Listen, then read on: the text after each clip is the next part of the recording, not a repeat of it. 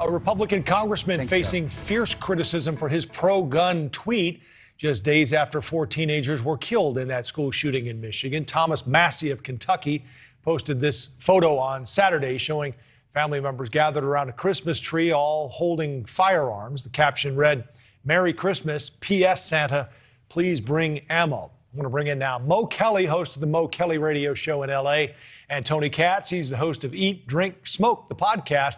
Tony, let's start with you. Is this bad timing or is it just plain bad optics?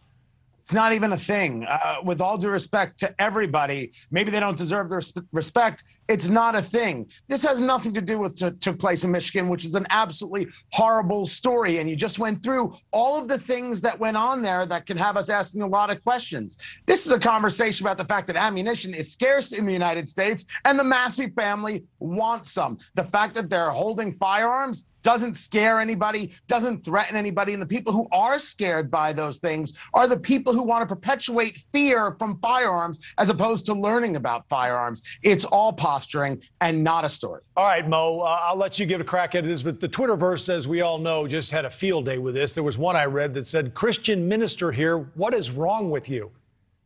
It's real simple. You just have to read the room. There's no one saying that they couldn't do it. It's just, would you want to? Should you in this moment? Just being aware of the larger mood in America. And I don't think that you needed to have um, AR-15s or assault rifles to get across the point of gun safety or teaching people about the, the need or the use of guns in our society. I'm pro Second Amendment. I have no problem with people using guns, but I'm also aware of how certain messages can be misconstrued in a certain moment. And as a politician, you should know better, even if you're not willing to do better. Yeah, uh, Tony, I guess that would be one of the criticisms, though. So in social media, this is sort of an own goal. I mean, why create a controversy like this when you don't really have to? And the critics say it's kind of politically tone deaf. To your point, sure, you can do it, but it's just probably not a good idea at this point right now.